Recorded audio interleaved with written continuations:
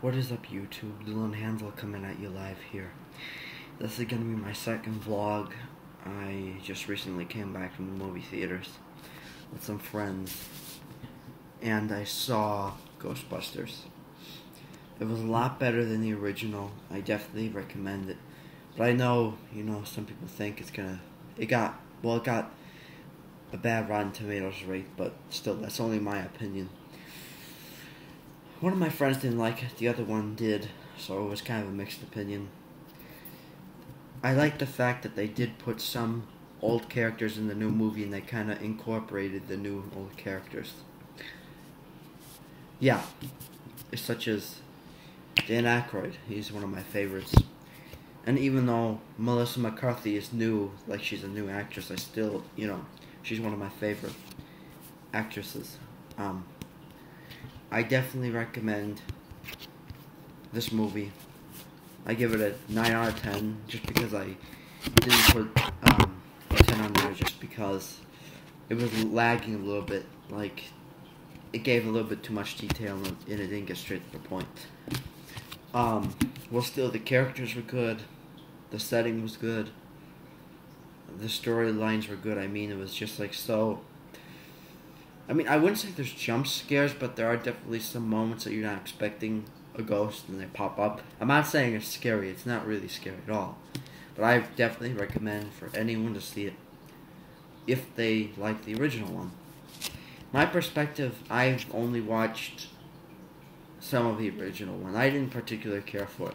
And when I heard about the new Ghostbusters coming out, I was like, maybe not. Maybe maybe I won't see it because usually remakes are not that great, such as um, Carrie. The new Carrie remake was absolutely awful. Yeah, I mean, the Ghostbusters is a timeless classic. I mean, you can't go wrong with that movie. I mean, it's just everyone likes it because you know um, everyone that I know, at least my family members, they grew up in the 70s and 80s, and Ghostbusters was around during the 80s. And I got introduced to it when I was about 8 or 9, and I didn't really particularly care for it. But now, when this new movie came out, I actually do like it. So, again, I'm saying definitely go out and see it. And I do recommend one particular movie theater only if you live around here. Um, we, me and my friends went to the Marx Theater in Addison, Illinois. Um, it's not too far away. They have like new seats and stuff, which is nice and yeah. So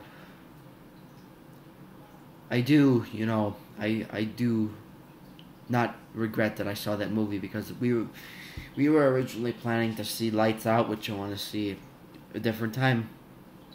It doesn't look that scary. I mean, I really I really want to see it. I mean, you know, my dad wants to see it with me. I think I'll see it with him because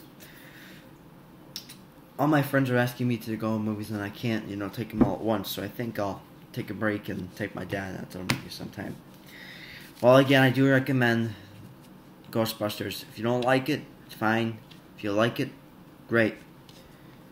It's just your opinion. Mine doesn't matter to all you people. According to me, I love it. I thought I hate it, but I love it. You always have to try everything. You always have to watch or try something. You, you you won't know if you like it if you don't watch it. If you know what I mean. Like it's good to explore your horizons. That's what I did. I mean, at first I said I wouldn't like it, and then I was wrong. I mean, I loved it. It was one of the best remakes I've ever seen. Well, hope this advice helped. Um, that is my opinion about the new Ghostbusters movie. Hopefully, you'll go out and see it, and please leave your discretions and concerns and comments in the comments section. Well, thank you for watching my video. Bye, YouTube. Peace out.